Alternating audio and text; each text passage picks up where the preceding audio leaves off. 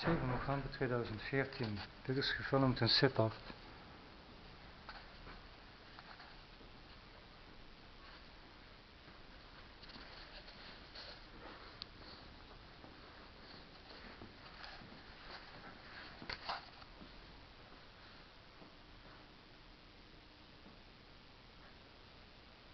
Aan de kunst.